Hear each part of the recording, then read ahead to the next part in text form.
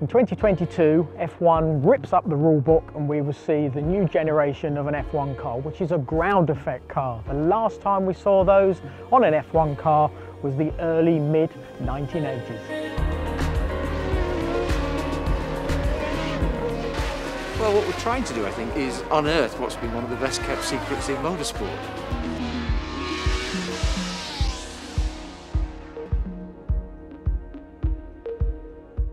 With a reputation as F1's innovators, Team Lotus debuted the first ground effect aerodynamics at the opening round of the 1977 season in Argentina, having been the pioneers of aerodynamics with their winged cars a decade earlier. The Lotus 78 had side pod skirts, bodywork extensions which dropped to the track surface from the car's edges. When lowered, the lower air pressure created underneath the car gave them huge amounts of downforce without the drag that comes with wings.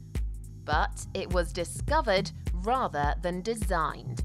When the team attached card to keep an experimental side pod design in place in the wind tunnel, the unexpected amounts of downforce pitched their developments down a completely new path.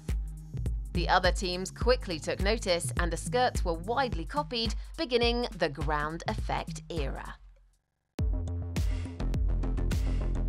40 years on, we're going to go back to ground effect. So I thought, what a wonderful opportunity to be able to document the ground effect car, provide all the data for that that's never actually been available anyway, um, and then compare that to the 222 car. We were introduced last year to uh, Robert Fernley through our Vice Chancellor um, and he obviously made it quite clear he'd got a series of historic cars he'd like to do something with. And then we decided we needed to start doing something as a student study, so we got involved in the aerodynamics project which was really to reverse engineer the ground effect car to understand how the aerodynamics work you know, we started off by looking at how do you how do you improve advanced performance engineering for young people and get them more involved and more excited. And then we linked it with the industry, and these things take time, but the industry is just so behind this now, it's phenomenal. Motorsport has been very good for me over the years. I come from a very modest background and, and I ideally wanted to see if we could get the university to a high profile and also provide the support for the kids. Here we've got industry and education working absolutely in partnership so students get full, full exposure to the industry, which is great for them.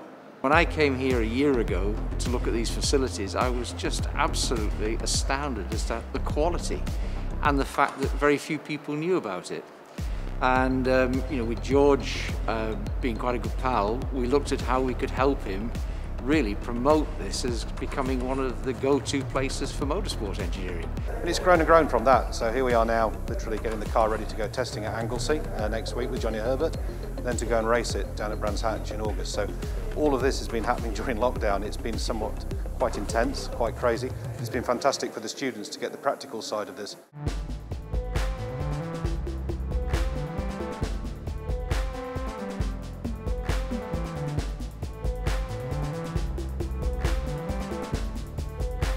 What I'll be driving today is this Ensign 180B, which was raced by Marc Surer, Eliseo Salazar in the 1981 World Formula One Championship. Marc finished fourth in uh, Brazil uh, and sixth in Monaco. Uh, Eliseo finishing sixth in uh. So it's not a bad car. Jim Crawford, he drove it. Bob Fernley ran the car from uh, Force India. Uh, and this is the car that we will be driving and thank you, Bob, for allowing this to, to happen. It's nice to see my name finally uh, back on an F1 car. But how are we going to sort of see the two generations and the difference between those two? Well, as you can see, with all these sort of stickers that are all over the car from the front wing, they're actually underneath the floor, all the way back through the bodywork, and finally on the rear wing. We've got 250 sensors that will be reading all the aerodynamic data that we can analyse to see the difference between the two generations of an early 1980s car to the new rules for the 2022 Formula One regulation. So it's going to be fascinating to see the difference between the two.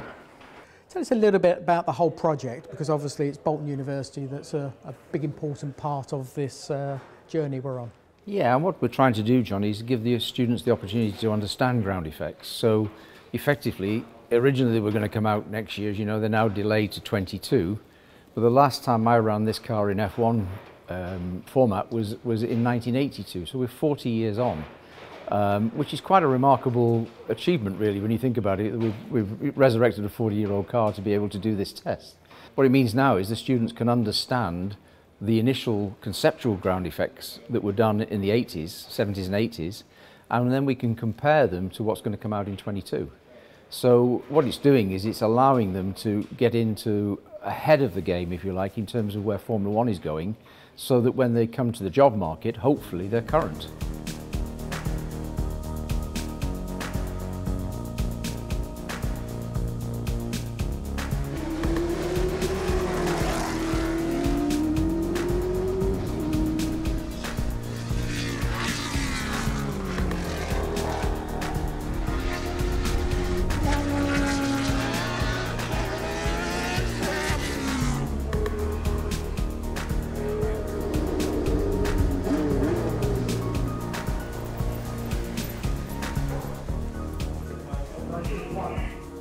Yeah, the first impression is just where the these wheels are so close to my chest compared to, to what I'm normally used to. So we sit so far forward in one of these cars.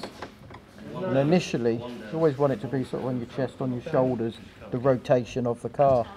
And it sort of initially turns in with understeer, but then it really picks up quite a lot of grip as you pick up the speed in the grip uh, starts to develop, but then it actually goes out of my chest towards the steering wheel, which I don't want because that means it's then becoming a bit pointy on the front.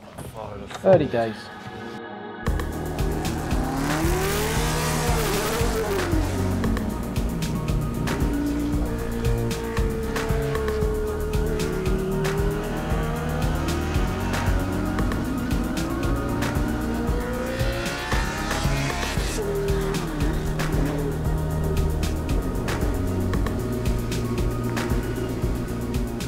The positioning of the car on the exit seems to have more flow, more flow to it.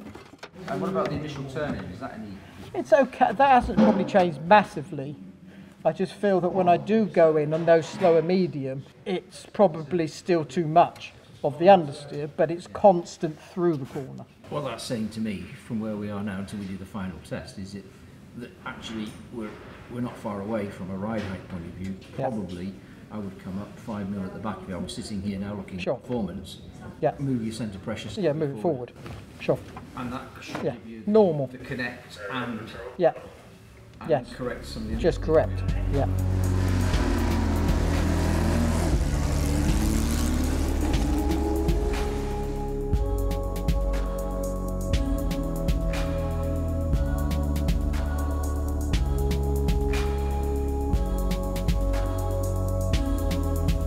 What have we been doing today? Well, we're doing a lot of constant speed running, something they still do uh, today. Um, and that really sort of means that when we go down the main straight, there'll be a set speed that I have to stick to all the way down the straight. And then that just gives a much better reading of what is happening underneath the car. So we sort of started with the car sort of quite flat. We then went down a little bit on the rear end, did the same thing once again. And then for the last change, we actually then went up on the back. And what that's does and what I can feel in the car is sometimes when the air is going underneath the car, it's detaching. So when I'm going through a corner, I can actually start to feel a bit of a sort of a numb uh, patch where it's understeering, but actually then I can't really feel where the back end is. And that's normally where there's a bit of a detachment underneath the floor. So that's something we'll be able to sort of look at. More importantly, that's what we can see the difference between this 1980s car to the 2022 cars. Another interesting test that we did today is one of these, a 1980s brake duct. Well, actually, it's a 2020 brake duct, 3D printed from the 1980s. Now, you've got the rear wing, and obviously you want that to be as clean as you possibly can to get all the air that it can on it to create the downforce. But of course, these are mounted right in front of it. So the amount of air that's been taken away from that wing, we don't really know. A modern day Formula One car, it's all enclosed inside the, the rim of, of the wheel. So we took it off, we gave it a run, we've got all these sensors on it, so we should have a good idea of the difference between an 80s brake duct and a 2022 brake duct. But Bob, now we've sort of collected all this data, what's the next step? Well, the next job for us is that we've done, as you know, we've done three ride height um, sweeps effectively, and we've done 15 laps per sweep in different areas. So we've got enough data now to be able to send all that back to the university. They will then be able to use that as the co to correlate the CFD work, because the CFD should tie in with what we've done here today. It's all reverse engineering, um, and that I feel like is almost as big of a task as creating a car from scratch because one side will be close to another but it won't be exactly the same. Um, but it's, it's, it's definitely a task and a challenge, but it's, it's rather exciting to be part of it. I'm on tyres, body work and fuel. So if they need a tyre change, first guy on the line, fuel, then bodywork. So if one of the sensors was to fall off, something like that, I'll put Scott just to refit it, things like that, yeah. The students working on this project are also involved in other projects. So M, for example, um, is also working, um, or has been working last year and this year, with the British touring cars. I'm Emily Platt and I'm a second year student at the University of Bolton. I'm the front end mechanic, um, but I've also been working on the scanning side of the vehicle as well beforehand. Um, it's been quite interesting to do and I've been able to then link that into my university work as well, so it's been able to boost my grades. Is it interesting to be studying ground effects. Yeah, it's uh, very interesting to me because um, it's one of those things that they had an idea of what they were doing and they had a, a general idea of what made it faster and what made it more effective, but they didn't nearly have as much technology and the tools that we have today. Um, so it's interesting to see um, the development of what they could have done and small tweaks that could have made it 10 times better or what would have made it 10 times worse that they either didn't know or had to find out through manual methods. It's interesting. And this positions the students at the premier part of the industry. You know, students who've had track experience working on aerodynamics like this for F1 cars, uh, they're oven ready, they're ready to go into the industry. And that's what people say they want these days. They don't want people who are theoretical, they want people who are practical, who can go on the track, add value straight away to the team. Finally, the time has come. It's qualifying day. We had a little bit of practice yesterday, had a few issues with the gear linkage, so I wasn't able to get the gears. But the guys, the crew from Bolton University were working until one o'clock last night to get the car prepared. The gearbox feels absolutely perfect now. If you look at the Anglesey programme, it was, it was almost textbook. Yesterday was challenging. The guys got home at one o'clock in the morning. That's what they've got to learn. Working out a couple uh, issues with uh, gear selection and therefore um, wore a few dogs in the gearbox. But all back together now and Johnny's happy, so I'm happy. So now it's time for me to get this on and let's go qualify. Wish me luck everyone.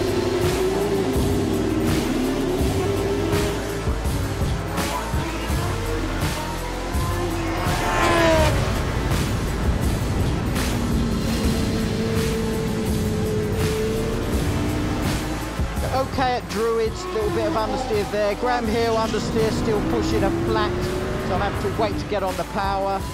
Surtees probably not that bad actually, so I'll probably say that's okay. Good job. Right, Bob, that was better. Yes. Was better, yeah. It's a lot further over to the left, so it took a bit of time to adjust. It's too sharp initially, uh, mid-corner exit, we've still got that same same problem. Uh, that hasn't gone away. Um, mid-corner exit understeer. Yes, and what it also does, when the tyre gets hot, you get a loose rear end when you brake. That's instability at the. Yeah, that's about it, I suppose. No, no, main thing is we got the laps in. Yeah. No, sure, sure, sure, sure, sure.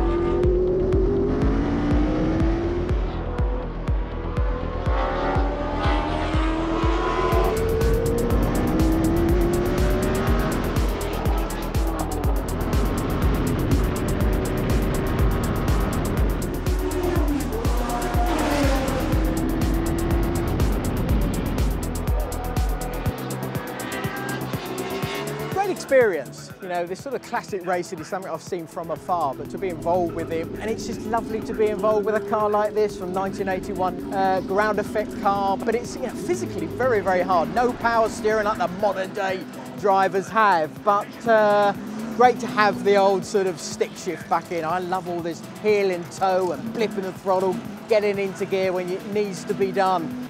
Normally, of course, you've always got a team around you. I have exactly the same thing, but of course it's from the University of Bolton and those students who I have to say have done a really good job. The car mechanically hasn't really had any issues whatsoever. The brakes are always very, very hard.